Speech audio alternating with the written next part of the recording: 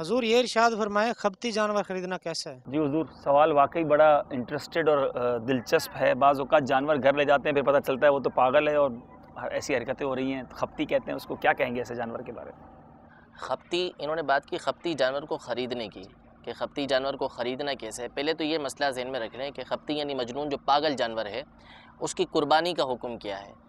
جو جانور اتنا پاگل ہے، اس کے اندر اتنا جنون بھرا ہوا ہے کہ وہ چرتا بھی نہیں ہے، کھاتا پیتا نہیں ہے، تو ایسے جانور کی قربانی ناجائز ہے۔ اس کی قربانی نہیں کی جا سکتی۔ اور اس کے اندر خپت جو ہے، اس کا جنون جو ہے پاگل پن یہ تھوڑا ہے، چرتا ہے، لیکن تھوڑا سا اس کے اندر پاگل پن ہے تو اس کی قربانی درست ہے۔ جہاں تک رہی خریدنے کی بات، تو خریدتے وقت ایسا جانور خریدنا چاہیے کہ جو ہر طرح کے ایپ سے پاک ہو۔ اب جب خریدنے گئے ہیں جانور تو حدیث پاک ہے کہ حضرت علی رضی اللہ تعالی عنہ نے یہ ارشاد فرمایا کہ حضور علیہ السلاۃ والسلام نے ارشاد فرمایا کہ ہم جانور کے کان اور آنکھ وغیرہ دیکھ لیں۔ تو یہ اس لیے کہ جانور کے اندر کوئی عیب نہ ہو۔ تو جس وقت جانور کو خریدنے گئے ہیں اس کو اچھی طریقے سے دیکھ لیجیے۔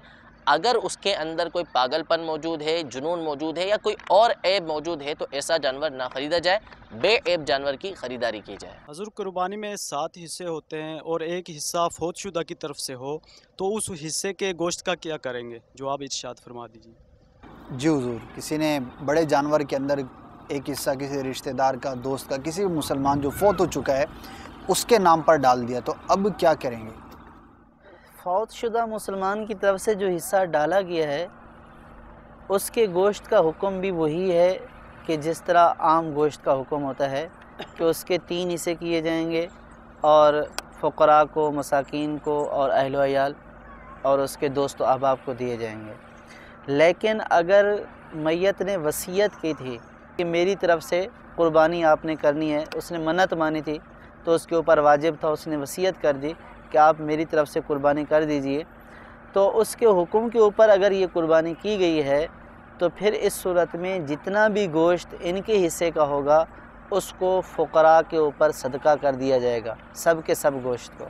اگر وصیت کا نہیں ہے، ویسے جیسے اصال ثواب کے لیے کرتے ہیں، والد صاحب کا انتقال ہو گیا، والدہ کا ہو گیا، تو اس صورت میں اس کے گوشت کو ویسے ہی تقسیم کیا جائے گا، جیسے ہم اپنے گھر کے جانور کے گوشت کو تقسیم کرتے ہیں جو حکم ہے کہ تین حصے کر دیے جائیں تو وہی حکم میت کے طرف سے کی جانے والی قربانی کے گوشت کا بھی ہے۔ میرا سوال یہ ہے اگر ذبح کرتے وقت دو یا تین افراد نے چھری پر ہاتھ رکھ دیا تو کیا سب کو تکبیر بننا لازم ہے؟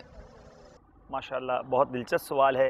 ذبح کرتے وقت کیا کیا جائے گا؟ حضور چھری پر دو تین لوگ ہاتھ رکھیں گے یا کوئی ایک رکھے اور اگر دو تین لوگ رکھ دیں تو کیا ہوگا؟ عموماً ایسا ہی ہوتا ہے کہ بعض اولاً تو یہ سمجھ لیں کہ لوگ یہ سمجھتے ہیں کہ شاید جن کے حصے ہیں وہ سب ہاتھ اپنا رکھیں۔ تو اگر ہاتھ رکھنا چاہتے ہیں، اس کی کوئی ممانت نہیں ہے، لیکن پھر ان کو یہ احتیاط کرنا ضروری ہوگی کہ چھری پر جتنے افراد کا ہاتھ ہے، جو چھری چلا رہے ہیں، تو ان تمام کو تکبیر کہنا، بسم اللہ اللہ اکبر کہنا، یہ ضروری، لازم، واجب ہے۔ اگر کسی نے بھی کسدن چھوڑ دی یا یہ خیال کر کے چھوڑ دی کہ دوسرے نے پڑھ لی مجھے حاجت نہیں ہے تو ان دونوں صورتوں کے اندر وہ جانور حرام ہو جائے گا۔ سب نے پڑھنا ہوگا۔ سب نے پڑھنا ہوگا۔ تو اب اس میں اور پڑھنا بھی یہ بھی ہے کہ جہاں پڑھنے کی بات ہے کہ پڑھنا تو وہ بھی اتنی آواز سے پڑھنا ہے کہ اپنے کام کم از کم جو ہیں وہ سن لیں۔ اگر کوئی کوئی وہاں پہ شور و گل ایسا نہیں ہو رہا کہ پڑھا اس نے اتنی آواز سے لیکن جنریٹر چل رہا ہے کوئی اور مسئلہ اس طرح کہ اس وہ کان اس کے نہیں سن سکے تو یہ ایک الگ بات ہے۔ کوئی اور معنی موجود نہیں ہے تو اتنی آواز سے اس کو کم از کم پڑھنا ضروری ہے کہ اس کے اپنے کان بآسانی اس آواز کو سن لیں۔ تو اس احتیاط کا خیال رکھنا بہت اہم اور ضروری ہے۔